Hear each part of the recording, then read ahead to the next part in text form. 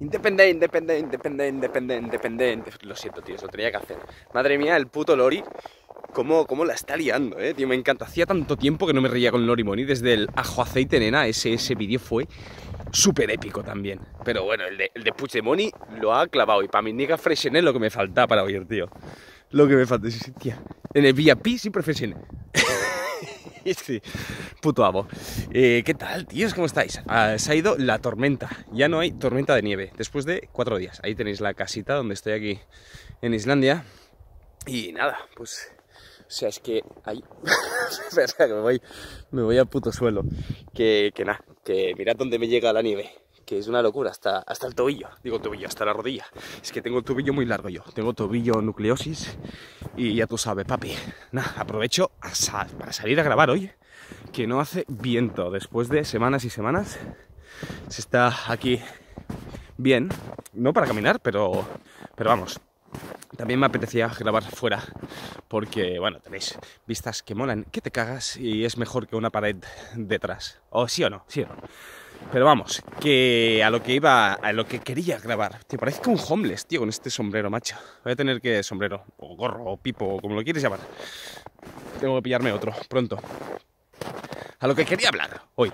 Porque me parece tan absurdo que, al principio no me lo quería creer. Cuando vi la noticia por internet y estaba leyendo, digo, no, no, no.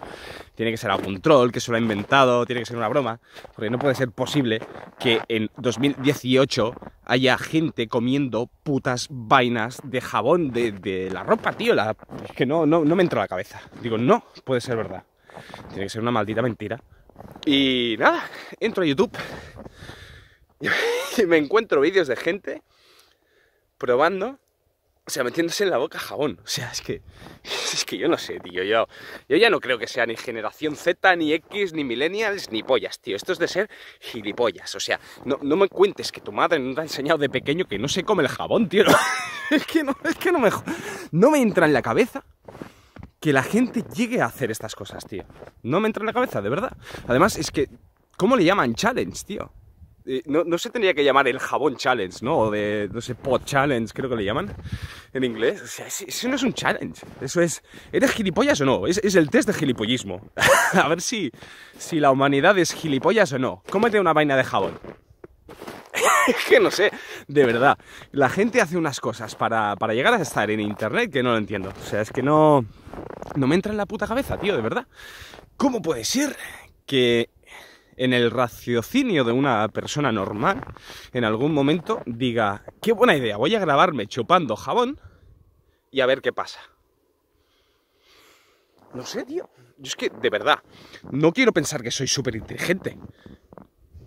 Pero tampoco quiero pensar que la gente alrededor mío es súper idiota como para hacer estas cosas, tío. O sea, no... Por suerte creo que no es la mayoría de personas que no hacen estas gilipolleces.